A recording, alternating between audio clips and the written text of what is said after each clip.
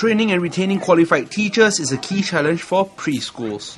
To attract more people to become preschool teachers, Minister of State for Defence and Education Lawrence Wong announced that the Ministry of Education will launch two new initiatives, namely offering scholarships to teachers and coming up with a career guide to aid teachers' career progression.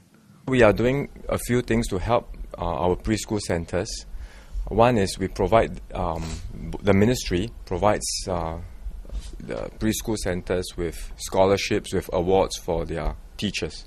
And we, over the next two years, we are talking about 450 additional awards and scholarships, of which I think 140 are new ones.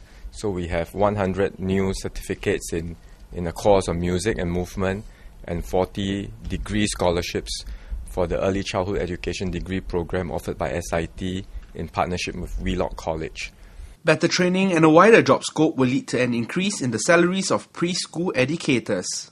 Because they are taking on more responsibilities and they are better trained, then naturally uh, their salaries would go up based on market requirements and market demands.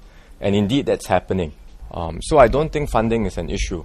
I mean, to the extent that if we need to invest more, I think, and we find that these investments are worthwhile and worth doing, MOE will do so because we do want to raise quality of our preschool centers across the board.